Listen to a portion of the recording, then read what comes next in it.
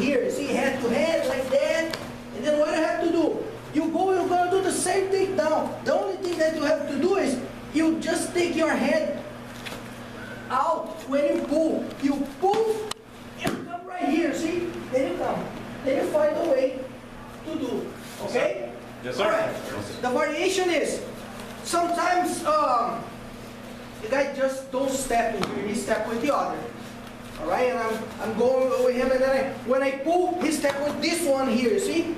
It's too far away. I'm going to do the same. This hand is free, and then I get the other heel. I come, then I get the other heel, and then I push and pull put to the side. Yes, sir. Okay? Yes, sir. A big deal. They come, head to head, make him walk.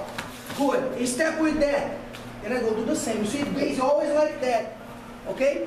You have to you have to realize that now I, I, I have to put my, my head inside, not outside, because it's gonna be weird for me if I do that. You see, it's not good. Alright, I'm here. Then I grab the heel right here. Keep pushing him. Alright?